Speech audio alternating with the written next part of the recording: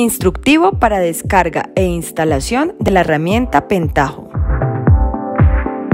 El siguiente instructivo está dirigido a cualquier tipo de persona, por lo tanto, no es necesario tener un alto conocimiento o experiencia en programación. Importante, asegurémonos de contar con una conexión estable a Internet, lo cual nos va a permitir un proceso de descarga adecuado. Antes de comenzar con el proceso de instalación de Pentaho BI, es necesario que actualicemos la versión Java. Para ello, ingresamos a la plataforma virtual de Java www.java.com slash es slash download slash. Allí seleccionamos la opción aceptar e iniciar descarga, la cual nos instalará JRE, Java Runtime Environment, en versión 7 o superior, para así poder ejecutar las aplicaciones Java. Tengamos presente que el software Pentaho requiere algunas características mínimas de funcionamiento en el equipo. Memoria RAM 128 MB o superior. Espacio libre en disco duro de 200 MB. Máquina virtual de Java versión 1.5 o superior. Es decir, nuestro equipo debe estar en buenas condiciones de operación y así poder ejecutar el software.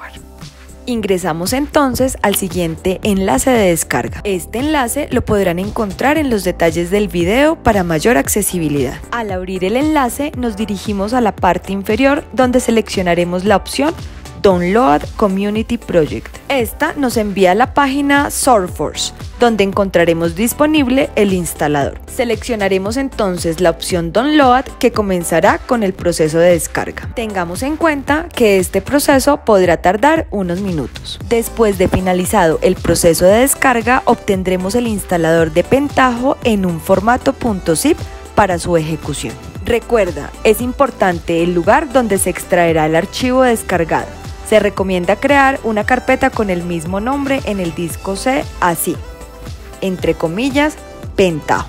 Después de tener descargado el archivo .zip, procedemos a descomprimirlo y ubicarlo en el lugar sugerido para ejecutar la herramienta.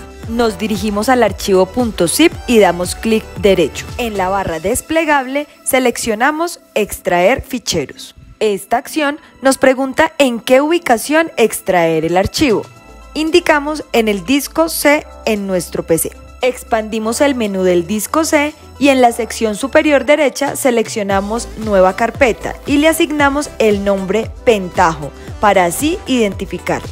De esta manera queda instalada nuestra herramienta y podemos proceder a ejecutarla. Nos dirigimos a la ubicación del disco C donde alojamos la herramienta. Vamos a la carpeta Pentajo y damos doble clic para abrir ingresamos a la carpeta Data Integration y allí buscamos un ejecutable llamado Spoon.